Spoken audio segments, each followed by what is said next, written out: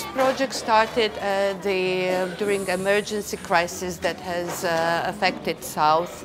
And uh, UNIFIL has looked the best way how to help community, especially the most vulnerable one, who are children, youth and children.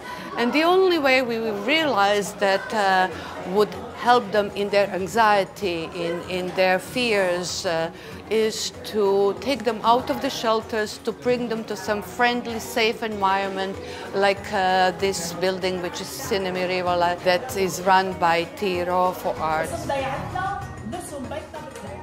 هيدي الورشة التدريبية بلشنا فيها من أول يوم جابوهم وبصراحة كانوا بحاجة كتير كتير لهالمشاريع حاجة كتير للتدريب يعني. أنا أول يوم بس شفتهم عرفت إنه يعني كانت إيدهم كتير ثقيلة هلأ عم بحس إنه اليوم في اختلاف من هاي المرحلة للمرحلة الأولى.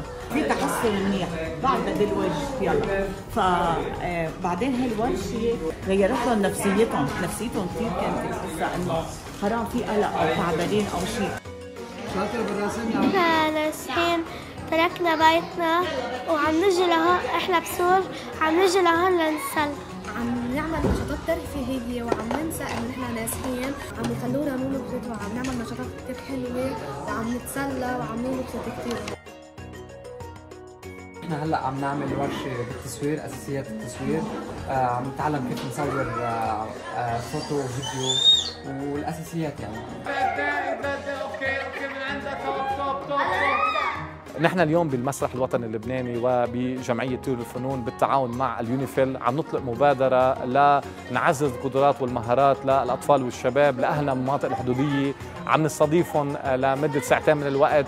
عم يجوا على المسرح بنعمل لهم ورش بالمسرح بالرسم بالأشغال اليدوية وبالتصوير الفوتوغرافي والدمى والحكواتي فعم بيكون في فنون مختلفة. هيدي مهم للشباب والأطفال إنهم يفرغوا يعبروا عن حالهم خصوصا بهيدي الظروف اللي عم نعيشها.